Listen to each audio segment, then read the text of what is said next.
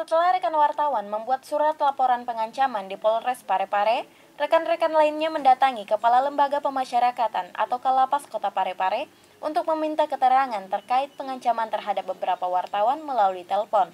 Kepala Lapas Parepare Indra mengatakan, terkait kasus pengancaman oleh seorang warga binaan Lapas Parepare yang bernama Johan telah mengaku bahwa Johan melakukan telepon ancaman terhadap rekan wartawan.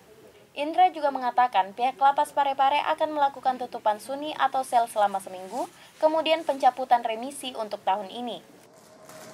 Ya.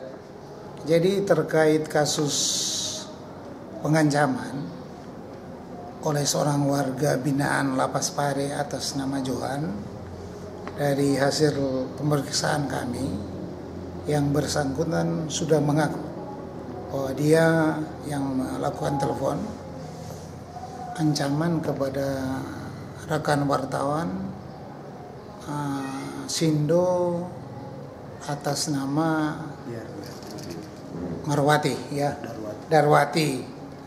Kemarin dan hari ini direncanakan pihak Polres akan melakukan pemeriksaan lanjut.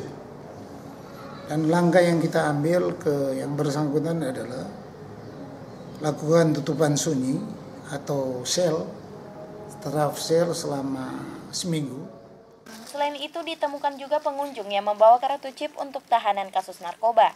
Dari Lapas Kota Parepare, Wahyu Pare TV mengabarkan.